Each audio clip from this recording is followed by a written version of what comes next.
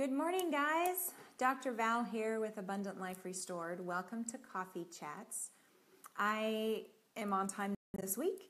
Um, today, I'm going to talk a little bit about something that I think that is foundational, but I haven't really spelled it out before. And that is, I have mentioned the phrase in uh, past videos about the finding and getting to the root cause of disease. This is something that is a paradigm shift, and it was for me as a doctor, and it is for you in understanding your health. And so I'm going to explain a little bit more today about what I mean by that, about when I'm talking about the root cause and and why does eating healthier or this or that have anything to do with my autoimmune disease or my anxiety level or my uh, insomnia or all these things. Um, what is it? I mean, we all know that, well, we should probably eat healthier, but there are there are things that I want to talk about today and try to help you understand that the today's healthcare model and what your doctor has told you about conditions, about these uh, things that we have called disease labels uh, that we give people. I want to explain some things about where they're coming from and where I'm trying to get get everyone to. Um, because if you can start to understand this, then that changes the control that you have over your own health. And this is not your doctor's fault that they don't understand any of this because this is not the way they were trained, believe me. Um, there is a whole lot of paradigm shifts that I myself have gone through. I was trained in family medicine, went through med school, four years of med school, three years of residency, and then practiced as a family medicine physician. Um, but even early on in residency, I was thinking this isn't really getting to the bottom core of these diseases to actually help people. And I couldn't articulate it, but I knew there was more to our understanding of health. Um, so let me back up. If you go to the doctor, I'll explain some things and you're given a diagnosis of hypertension, which is high blood pressure. The medical understanding that your doctor has of the cause of that disease, well, that depends on your age. Uh, if you are, say, 65, 75, if you're older, then the cause usually is, well, it's just kind of part of normal aging. Your uh, walls of all of your arteries um, lose their elasticity over time. And uh, that makes that pipe more stiff. It doesn't stretch with every heartbeat. And if you decrease the um, diameter of a pipe with fluid going through it, it increases the pressure on the inside. And it's just normal and there's not anything we can do about it. Here, take this uh, blood pressure medication. You'll, we'll adjust it. You'll be on it the rest of your life. Um, that's the, the root cause and the explanation of hypertension or blood pressure as you age. And that might be increased because, well, everyone in your family also has high blood pressure. So the fact that you're in your 40s and your blood pressure is elevated well, you just got genes for it, it's in your genes. Um, or there's certain races that are more prone to higher blood pressures uh, earlier on in life. Sorry, it's just in your genetics, it's uh, in your race genetics, it's et cetera, et cetera. There's nothing we can do about it. Here, take this blood pressure medication for the rest of your life. Um, those are some common causes that I was taught in med school, and you don't ever look beyond that. And as a patient sitting on the other side, you're like, well, I can't do anything about my genetics. I can't do anything about my age. Those are factors that I have no control over. And so, guess I just have to take the blood pressure medication for the rest of my life. So, that system of understanding between what, as a patient, what you have heard from your doctor and what your doctor is telling you in their understanding, um, I believe are incomplete because the root cause of why some of this happens over time, we'll get into that. But in understanding there's more to things than your genetics, there's a lot more that um, your genetics play a role, but very, very rarely, honestly, in my new understanding of how genetics um, and how the genes that you have are turned off and turned on throughout your life. This is not Jeanette Mendelian uh, genetic expression like my eyes are blue, they'll always be blue. A plus B equals C. They're not set in stone. Most of the genes that you have um, are actually very fluid in how much they're expressed. And we are scratching the surface on our understanding of that. It's a whole field called epigenetics, which I don't think I'd heard of before five years ago.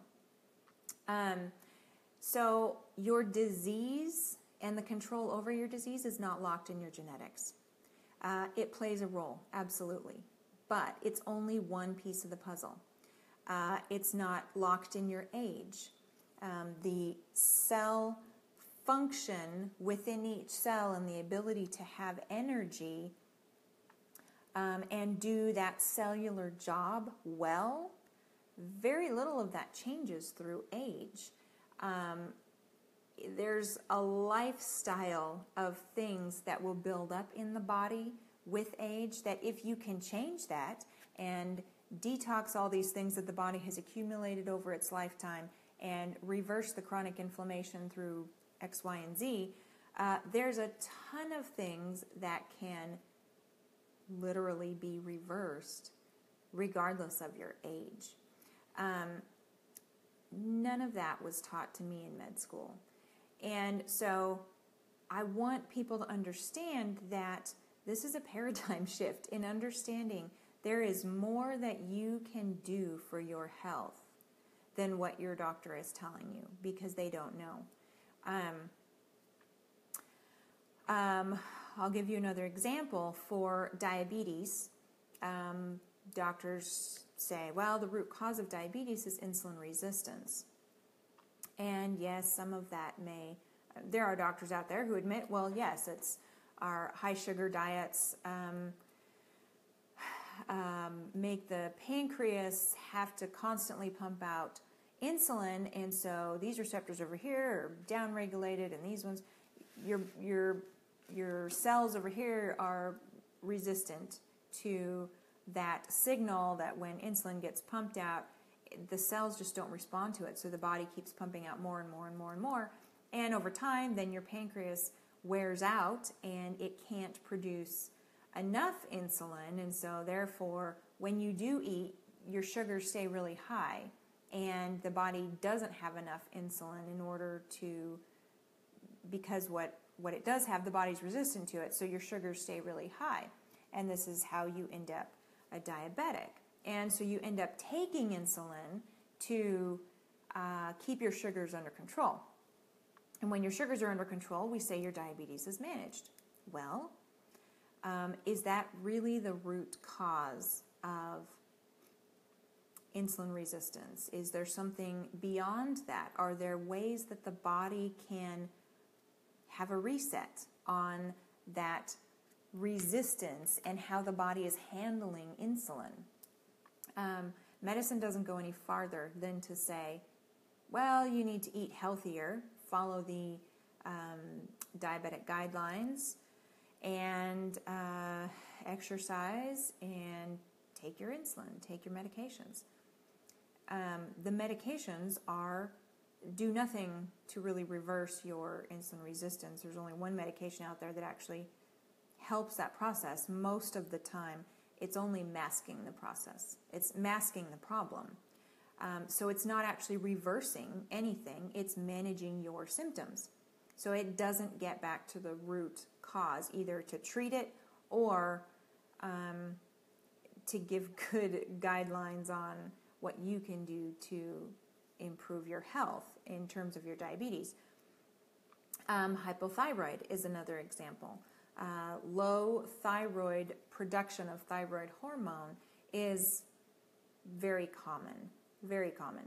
Um, if you were older, well, the excuse was, well, your thyroid is just tired and it's just not putting out as much thyroid as uh, as it used to.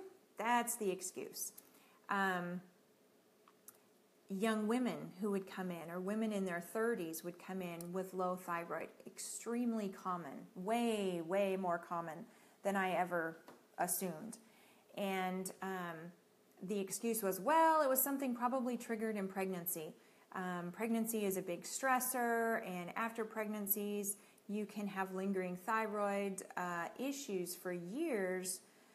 And, um, you know, with young kids, you just you explain all the fatigue and the um, lack of energy on just well i've got three little kids running around and i don't get enough sleep and you know you explain all that away. And so as they get older you finally go into your doctor and they check you 10 years later or 20 years later and go yeah you have low thyroid. It was probably from your pregnancy.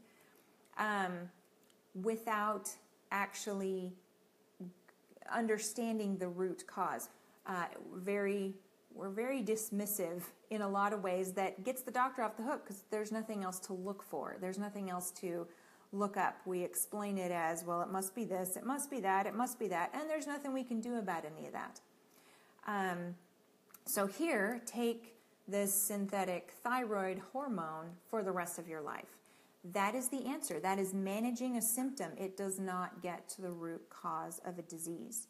Um, so what happens is you go to your doctor, you get labeled with a, a disease label that is basically just a label for a lot of symptoms that you're having. And then you're put on medications to manage those symptoms. And that's as good as medicine can do. That is all the answers that they have is, well, there's nothing we can do about that, that, or that. And so Take this medication for the rest of your life, whether it's for your migraine, whether it's for your um, heartburn, whether it's for your autoimmune disease. There's nothing we can do. Take this medication because because we can't affect your genetics. We can't affect your history. We can't affect your um, whatever it is that was that trigger, that event. Uh, we have no control over that. And so here, take this medication. That's the only answers that medicine can give. Um, and aging is a very common thing that gets blamed. Genetics is another one. Um, so let me just explain something about uh, med school. In four hour, four years, not four hours, in four years of medical school knowledge, uh, where you spend hundreds and hundreds of hours getting massive amounts of information um, anatomy, physiology, micro, um, microbiology, um, biochemistry, uh, just tons and tons of information. Uh, you get bits and pieces of it, you study for the test, you cram, um, and you don't know what information is going to be most important. What pathways am I supposed to remember?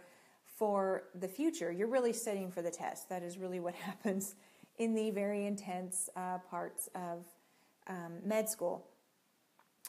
And uh, the last year, or the second year of med school, the second year of that intense um, process, is pharmacology um, towards the end. And starting in, after you finish med school, starting in residency, you finish, and really everything then becomes pharmacology. It's okay, I take this group of, of um, symptoms um, and I've labeled it correctly as a disease. I ordered all the right tests to figure out that that is the disease. And now it's managing pharmacology, it's managing medications. that is really what you learn how to do in residency in its entirety. Um, and you. Um,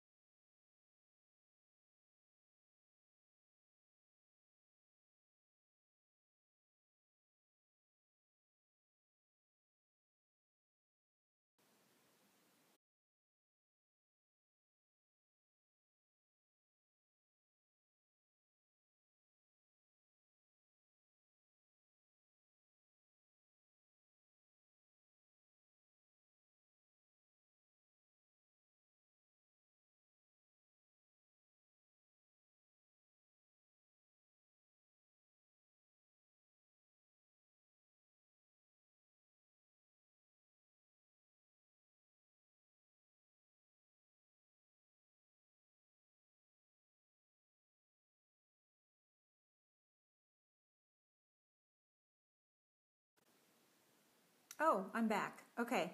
Sorry about that. I don't know why my video blacks out, but I've figured out to stop talking when that happens.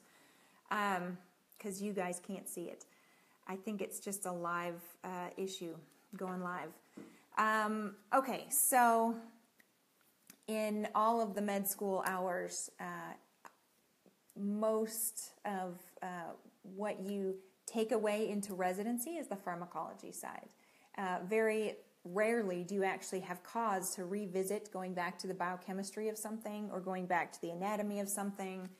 Uh, you really are just learning the pharmacology and how to treat the symptom because that's what makes the difference to the patient, right? Um, so, out of the hundreds of hours in med school learning anatomy and biochemistry and all that, um, do you know how many hours we ever got on nutrition? And this is pretty much med school wide. This is pretty common uh, in its, I think, average for med schools. Um, we got two hours of nutrition that were actually labeled nutrition. Two hours. Most of those hours, most of the time of those two hours, were on vitamin deficiencies, the conditions they cause. zinc deficiency causes this, and a um, vitamin C deficiency causes scurvy, and this is what it looks like. And and we looked at you know kids in Africa, and well, this is caused by this, and this is caused by this. Specific um, vitamin deficiencies and vitamin toxicities, the rare cases of of what that might look like. Um, that was pretty much the extent of our nutrition education. So do not fault your doctor. Your doctor does not understand, has never learned about all the ways that nutrition is triggering essentially every function going on in your body. Um, and even the, we say, well, we, we leave that to the nutritionalists. Okay, I want my patient to eat better, so I'm going to send them to the dietitian or the nutritionalist. Um, yeah, there's some there's some big gaps in their education as well, but I won't I won't go into that. Needless to say, your doctor does not have a mind that even is looking at disease from this perspective. And so these are the things that I want you to understand in this paradigm shift. For me, I have had to unlearn a whole lot of things as set in stone, like these conditions are incurable, like these conditions there's there's nothing you can do to affect the cellular environment. There's nothing you can do to change this fact, quote unquote. Um, I've had to unlearn a lot, a lot more than some of you. So, what I'm hoping is that as a patient, I want people to understand, first of all, disease labels, every single one of them, well, 99.8% of them, are just labels of symptoms that your body is trying to tell you something. This is really out of whack. And we have so nicely boxed those up as saying when you have these perfect things, then you have this disease. And when you have this group of symptoms, you have this perfect disease. But every single thing in the body works with every other thing in the body. Very, I mean, we may have isolated symptoms of it's just skin symptoms, it's just stomach symptoms, it's just headache symptoms, it's just this type of symptom. But a lot of those root causes go back to what what is going on in the individual cell that is making that so overwhelmed that it can't function the way it's supposed to function. And a lot of those root causes, um, going back to the cell health, um, are virtually the same across every uh, system, whether it's your your lungs, whether it's your kidneys, whether it's your liver, whether it's your intestines. The cell function is crippled for a number of reasons, or it doesn't have the energy for a number of reasons, or it's full of toxins for a number of reasons, or it doesn't have any of the nutrition that it needs for a number of reasons. Um, so when you start looking at health from a cellular level and then realize there are things that I can do to help out the cell function across my whole body, and guess what? That takes care of all kinds of symptoms that my doctor is giving me eight different medications for, you know, my anxiety, my migraines, my um, heartburn, my autoimmune disease, my high blood pressure, my diabetes, all of those things are symptoms of deficiencies. They're symptoms of lack of cellular energy and, and the ability of the cell to function. They're symptoms of toxification in your body, um, chemical toxins that are building up from lots of exposures. Um, and it's not all genetics. Yeah, your genetics may have a piece of the puzzle where something might be more likely if the right set of circumstance is uh, plays out. But the expression of many, many genetic conditions can be altered by the environment of the cells. And that is something that is huge and it's exploding in a lot of research right now. There's whole fields of epigenetics. Um, so your genes do not determine what symptoms you're going to have at all times. That is that is a huge paradigm shift. So there's there's three big things that you can affect, um, and this is why I talk about these things. But getting to the root causes has to start from a cellular level. And this is what medicine throws up his hands and goes, I, I don't know how to influence a cellular level um, fix. I don't know how to do that. Well, let's create a drug to target something in these particular cells or in those particular cells. Well, that's not the way your body was designed. Um, there, everything works in symphony with everything else what you eat and the nutrition and the source of the things that you're eating play a huge role in your body actually having the things around that it needs to. It comes down to these building blocks of amino acids um, and minerals um, and vitamins that you get out of your food. What you're giving your body has everything to do with the diseases that you have. And medicine today, as it exists, it didn't used to say this, but uh, today's mantra is that food has no bearing whatsoever on disease, period. Uh, you can't change your blood pressure by what you eat. And I believe that's not true. Um, so I do stress a lot of things because you have control over what you eat. No one else does. You do.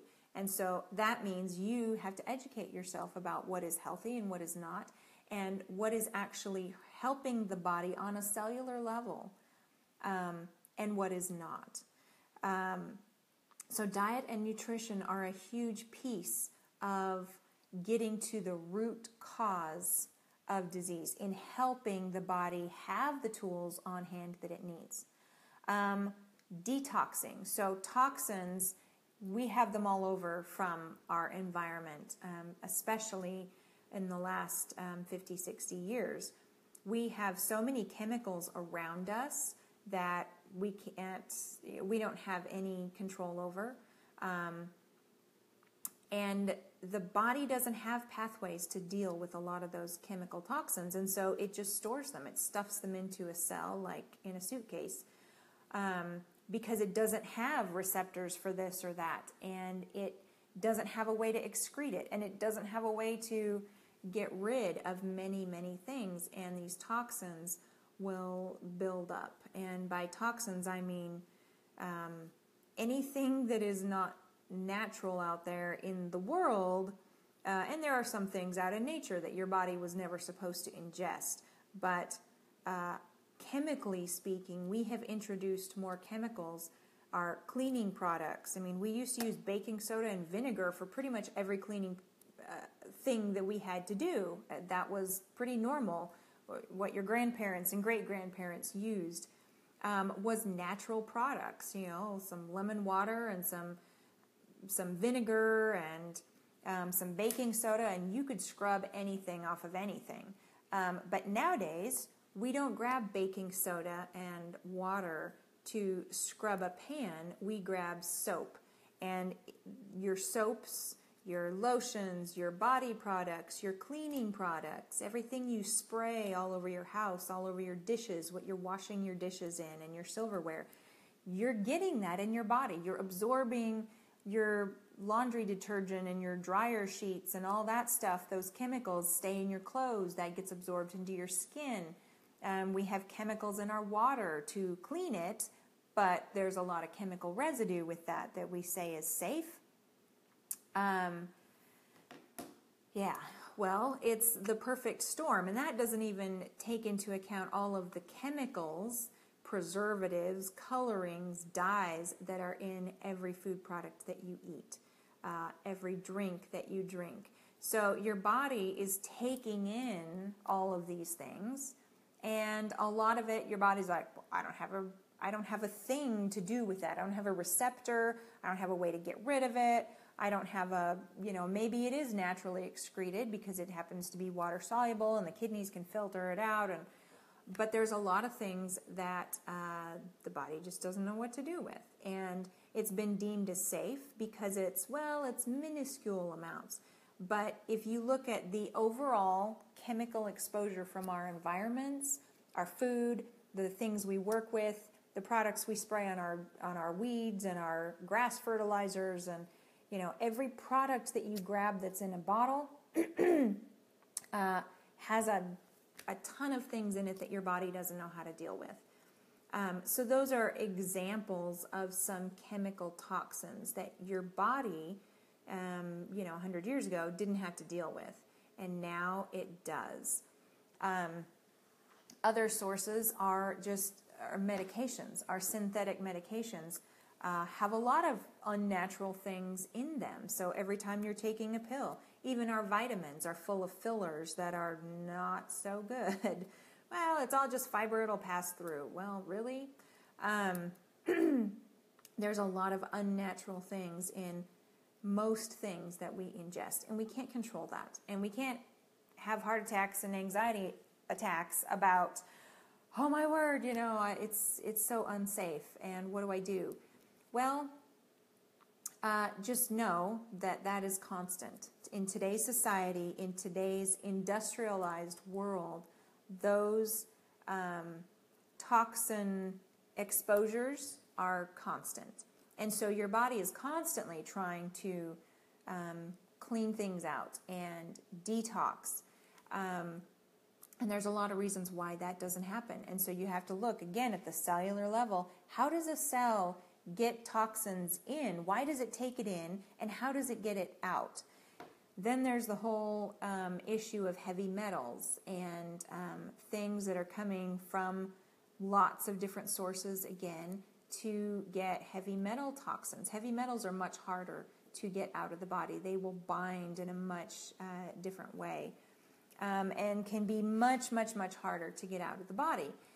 And that can lead to a lot of um, physical issues. So, detoxing is a part of and that is something that you yourself can do through many natural ways uh, to detox things out of the body um, and to try to decrease your environmental um, exposure because we think, well, for convenience sake, you know, I'm using every cleaner known to market, known to man that's on the market. I'm using my whatever brand, favorite brand of shampoo and my lotion and my makeup and my uh, deodorant and my soaps and my um, you know we have we have control over the things that you put on your body and in your body. And just to realize this is a paradigm shift wait in the name of convenience maybe this is not good for me. You know maybe instead of grabbing my favorite carpet cleaner when the dog went on the carpet or whatever maybe there's a way that i can use something a little more natural hmm that won't then stay in the carpet and be absorbed when I walk on the carpet in my bare feet next week. Um, those are things that you actually have to think about, and that takes effort and it takes energy and it takes getting out of that, just doing something for the sake of uh, convenience and habit. Um, just because it's the best cleaner in the world does not mean you should be spraying it next to where your kids are playing. Um, things to think about. Uh, I'm just, I am presenting all this because this is a paradigm shift of your health and starting to realize everything around you is affecting your health, even though your doctor is saying, no, there's no connection. There's no, that's a bunch of hogwash. It's all this, it's all that. And you need to take this medication for the rest of your life. I'm telling you, this is a paradigm shift, okay? So, detoxing, diet and nutrition, um, and lifestyle. Okay, this is something that again is really up to each individual is stress reduction. In our um, society, we are habitually, chronically stressed. We live in a fast paced, um, emotional driven society where everything we do all day long is uh, we have all this tension and it's very emotional. Um, and things that drain you things that are stressful even if you're like well i'm handling it. I'm type a personality. I can i can juggle 55 things and i can you know keep all my attention and i can do this and i can do that and i can do this um, those are stressing the body when your body is under chronic stress it goes into, um, so you've heard of fight or flight, and there is the rest and digest. The sympathetic nervous system that controls your heart rate, it controls your breathing rate, it controls your adrenaline um, uh, release, it controls your digestion, it controls a lot of uh, neurotransmitters and mood stimulation. It adjusts to the fight or flight, which is great if you're you know, have a quick five minutes, you're running from a tiger, you're, you know, I have to get out of this situation right now. Your body gives this huge uh, release of all these stimulating hormones, and your body goes into fight or flight. Um, and the parasympathetic system is what down regulates that and allows you to be in a state of peace and relaxing. That's when you actually are able to digest your food and pull the most nutrients out of it. That's when uh, your mind is able to calm down. That's a, a lot of things happen. Um, and those two are constantly um, balancing. So they're, they're both activated. It's not on off, but there's times when your sympathetic system is way more activated and other times when your parasympathetic system is really activated. But they're constantly in this tug of war. And the problem is that when that sympathetic, when you're living more in a sympathetic state day in and day out, that goes from, okay, I really needed all of that fight or flight for that one incident, but it's never downregulated. It's always on more than the other one. So, what happens is your body is in a chronic state of stress, that chronic pressure, whether it's money, whether it's relationship, whether it's, you know, there's all these other things that your emotions trigger that stress response. So, even if you don't feel like, well, I'm not having an anxiety attack, I'm just juggling emotional stress. Your emotional triggers are still triggering all of that sympathetic um, system over here. The sympathetic does not um, allow the body to stop and heal itself on a cellular level because all of its energy is focused on, I have to get away from the tiger, and there is no tiger. And stress, um, it eats up really, really important minerals that your body needs in the parasympathetic system for that rest and digest. When you're in the sympathetic, stressed out mindset, um, one of those key key minerals is magnesium. Well, stress um, through the adrenal release and all these things, it actually just burns up that magnesium really, really, really fast. And so, magnesium is actually the key controller in almost 4,000 enzymes, 3,700 enzymes in your body. That an enzyme is a is a molecule that takes some, one thing in your body and turns it into another. So an enzyme is something that is actually working to create, you know, to take this and turn it into this. Um, and you need that all throughout your body to control every nutrient supply to get a nutrient into its active form or to get something from here to turn it into what your body needs or to take this and to break it down into something that your body can get rid of. Magnesium controls all of that. Okay? So, stress, just on this, I mean, this is just one thing that stress does. Stress depletes your magnesium, and our diet is largely deficient of magnesium. Um, but it doesn't allow the body to then focus on healing or detoxing things out of the cell or um, repairing cell wall damage or repairing broken protein molecules here or there, or, taking care of the structural molecules. So, stress is huge in how well your body can actually heal and regenerate. And we live in a society that is really imbalanced. They've done studies on there are markers that are released in stress responses. And so we know that as a society, even though we say, well, other countries are far worse off than we are. They're war torn, they're facing famine all the time, there's droughts, there's, you know, poor uh, conditions, poor living conditions. They are way worse off than we are. Mm-mm, they're not.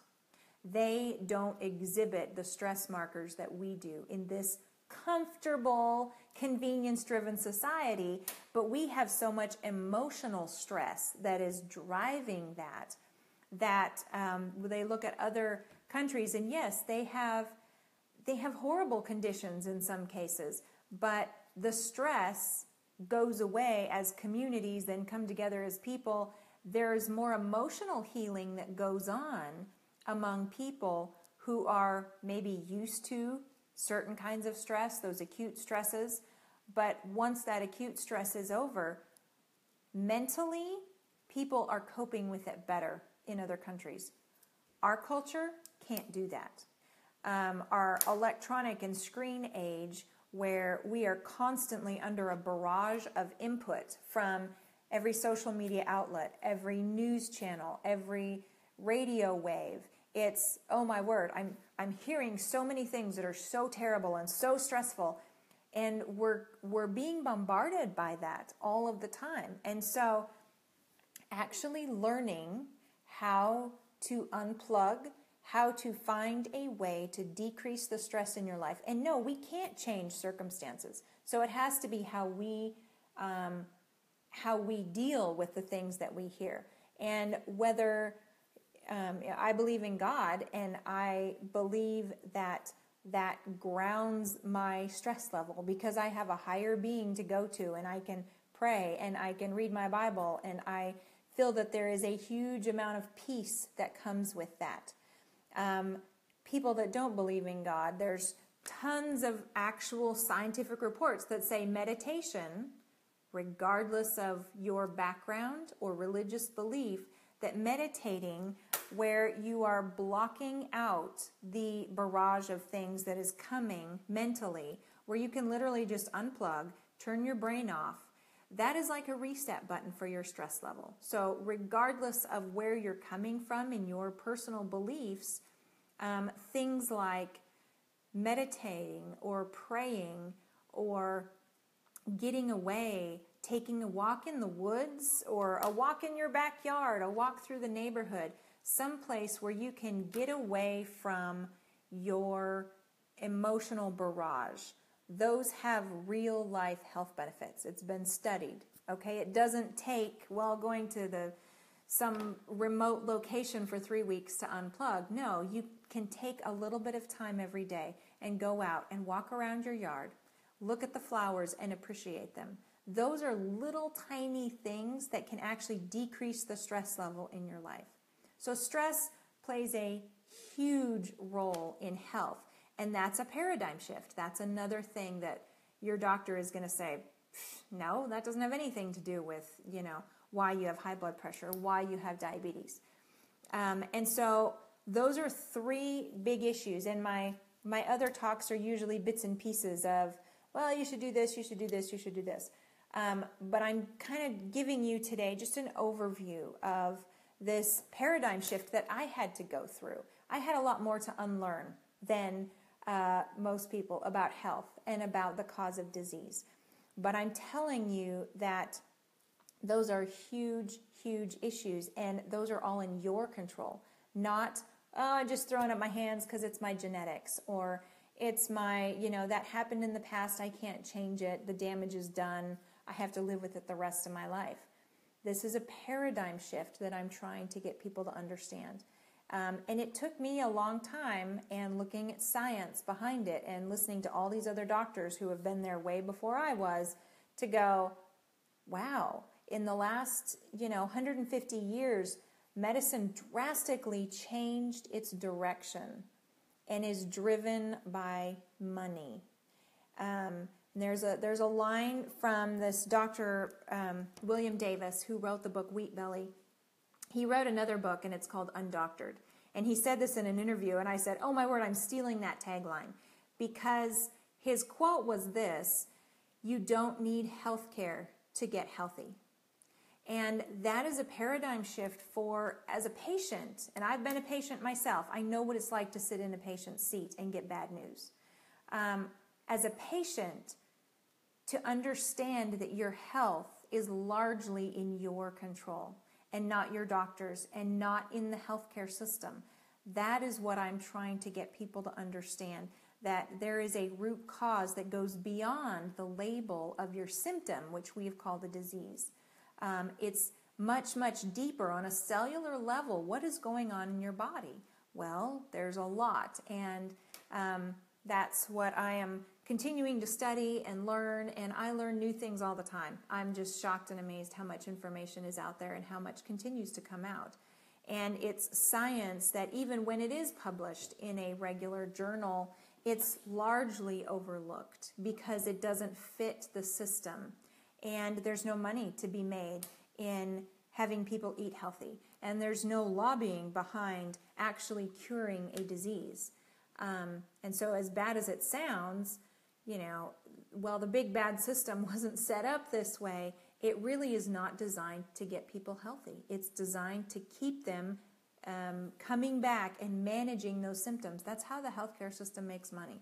Even though it says, well, it's about wanting you to be as healthy as possible. It's really not. It left those roots a long time ago. And so, understanding that a root cause of disease is going back to a cellular level, and medicine says we can't reach the cellular level, and I say you can. You can as an individual. And it starts with things that you eat, detoxing the body, and your lifestyle. I mean, those are three fundamental things that all change you on a cellular level. And so, my um, other bits and pieces that I talk about and things that I post here are all pictures of that.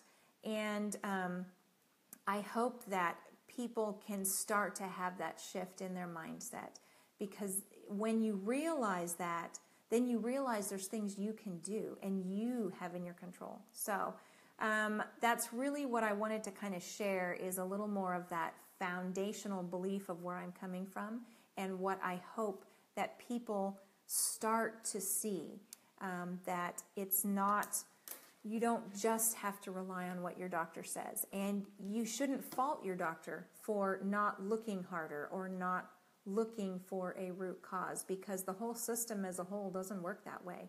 And the people who try to don't fit in the system. And I, that's why I left the system. Um, that's why I left that whole picture of healthcare because I really felt like, but this isn't helping people. It's just, they're just coming back again in another month, in another three months, in another six months to manage the same symptoms. And when it fails, I just increase their medicine because that's all I know how to do. That's all your doctors literally know how to do. And so, as I learn, I continue to share bits and pieces about things that you can do that are not magical secrets. These are things that, while some of the science has caught up, it's getting back to um, back to understanding our role with nature and how we should be interacting with it. Uh, everything from plants and those microbiomes that live in our gut is a whole nother ecosystem that if we treat it right it literally heals many many things in our bodies. I mean this is something that i didn't learn in medical school. Um, so these bits and pieces of information i hope is helpful. But this is a big root cause uh, understanding that there is a root cause this is a big paradigm shift for most people so um, I hope you dwell on it. Rewatch this if you need to. And if you have specific questions, ask me. Um, but it really doesn't boil down to, well, how do I treat my thyroid or how do I treat my diabetes? It comes back to really these three fundamental things of your diet, nutrition, detoxing, and your lifestyle. Those three issues you do have control over. And when you are doing the right things and the right balance and maybe some supplements here and there as needed, uh, then everything else downstream changes, regardless of what we had labeled it as. Regardless of it's your insomnia or your diabetes, guess what? When you fix these things, it helps everything. Everything. So um, it's not about treating a specific disease, that's a paradigm shift. So I hope this is helpful. Um, and I will see you again next week. Um, please share this and um, think about it because it takes it takes some serious uh, self questioning as to how each of us has been wrapped up in this mindset that um, my doctor knows everything because believe me, they don't. Uh, they know about disease labels and pharmacology, absolutely, but that's all they were taught. And going beyond that, you have to go beyond that to get to the root cause. So, hope you have a great day and a great week, and I will see you guys later. Bye.